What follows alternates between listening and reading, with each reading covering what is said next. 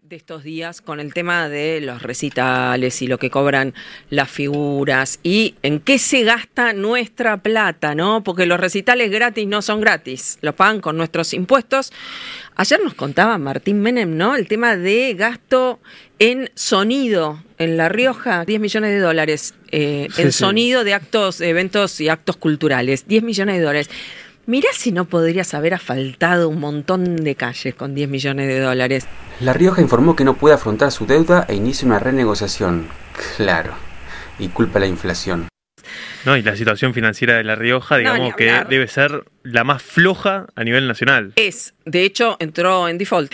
Eh, fíjate, entró el default y, sin embargo se patinan 10 millones de dólares en, eh, en, en eventos, ¿entendés? Y en actos y en no sé qué.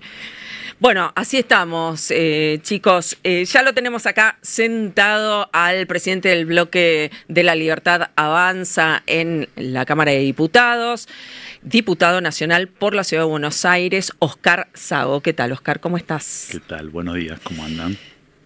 ¿Cómo te trata la política? Falta poquito para la apertura de las sesiones y la has pasado bastante mal, ¿no? En los últimos días. El presidente tuvo un, ida y vuelta con algunos gobernadores que, bueno, que me parece que no quieren entender que no hay plata en serio y que tenemos que hacer un ajuste desde lo que decimos nosotros de la política.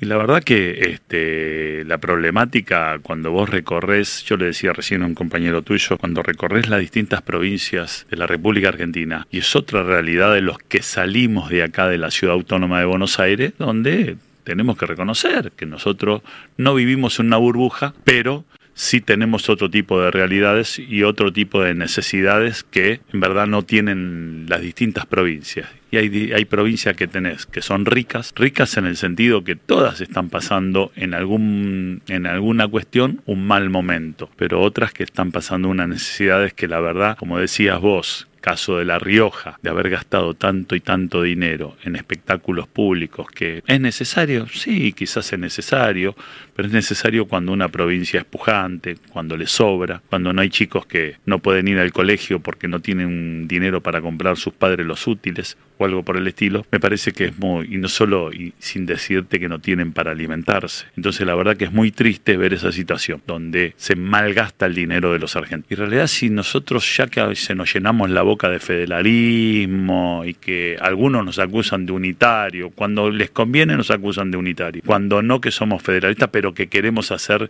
la redistribución como vos decías, de la coparticipación tiene que ser diferente. Cuando tomaron el dinero, eh, el señor, el ex eh, presidente que se dejó su mandato el 10 de diciembre, cuando tomaron el dinero y se lo dieron a la provincia de Buenos Aires, que le sacaron de la seguridad de la ciudad de Buenos Aires para dárselo a la provincia de Buenos Aires, parece que no es el sentido ahora retribuido por la justicia. Así que bueno, yo creo que sí, tenemos que hacer una, sentarnos de vuelta a ver cómo se va a redistribuir y verdaderamente ver la necesidad de que cada provincia tenga y cada provincia necesite con distintas particularidades. Pero esto es más allá. Yo me parece que si quieren en serio discutir, creo que se tienen que sentar todos en la misma mesa y dejar de amenazar y dejar de llevar agua a su molino según como le convenga. Entonces vos ahí donde vos empezás a mirar y decís, bueno, a ver, ¿cómo está redistribuida el dinero en la, en, la, en la República Argentina? Que deja más vale que seguramente que Neuquén, Río Negro, las, las provincias patagónicas, seguramente con lo que es hoy Vaca Muerta,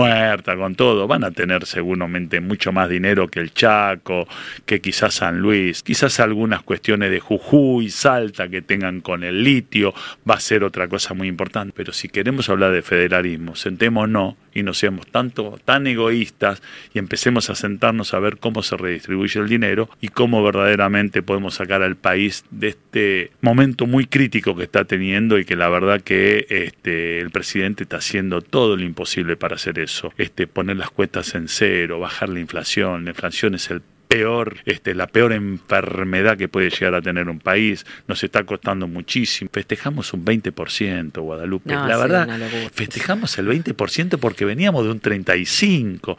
Entonces es muy duro cuando nos miran en otros lados, en otros países, dice, ¿Qué festejan? Pero bueno, la historia es si en el mes de junio, julio podemos estar por debajo de los dos dígitos, llegar a fin de año con 1 o 2%, sería un algo enorme, con un sacrificio sabemos que está haciendo la población que es muy, pero muy duro. Me saco el sombrero ante este señor, capo total, el presidente de la Libertad Avanza.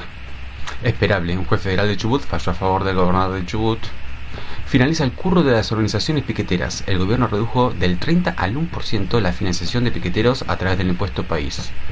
El kirchnerismo llevó a La Rioja a la quiebra. Quintel anunció el default y llamó a sus acreedores para reestructurar la deuda. La calle Po forzó el cierre del hospital Casa de Galicia. El último director de la Mutual denunció extorsiones del gobierno. China retrocede 100 años de libertad. Más restricciones. Golpe a las cajas de Kisilov y Grabois. El presidente Milei eliminó el fondo de fortalecimiento y recortó el fisura.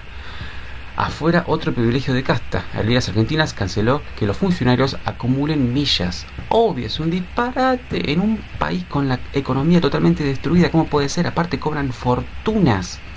El gobierno de Milei prohíbe el lenguaje inclusivo en las Fuerzas Armadas y se deberá hablar con sentido común en castellano.